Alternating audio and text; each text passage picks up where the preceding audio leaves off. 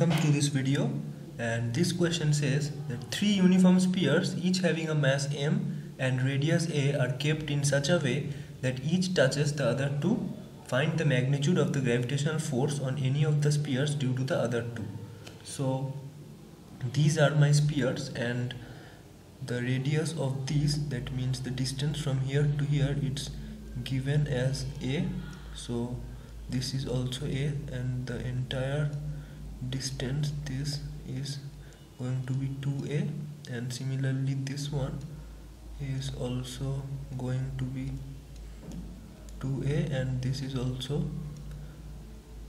2a so now let this be my sphere of interest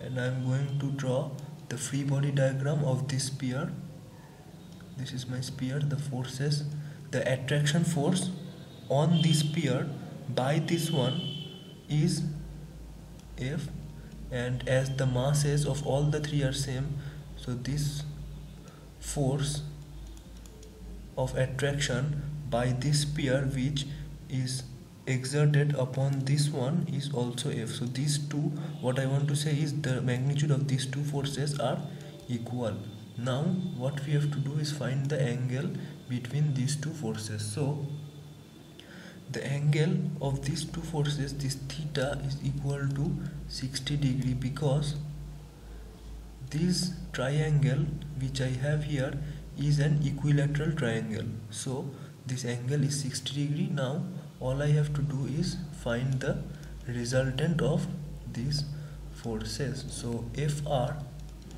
is equal to root over f square plus f square plus 2 f square times cosine of 60 degree. So this is equal to 2f square plus 2f square and cos 60 degree. Cosine 60 degree is nothing but half. So this one will get cancelled out and all I am left is with 3f square. So this is equal to root 3 times f so now I have to find the value of F. So F is equal to F is equal to the force on any one of the sphere by the other. So it is equal to G. The mass are given as m. So g m square by r square. The distance between the two spheres is 2a so 2a whole square. This is equal to gm square by 4a square. So now I put this in here and I get the resultant force on any of this sphere due to the other two equals to root 3 times gm square divided by 4a square. So the answer is root 3 gm square by 4a square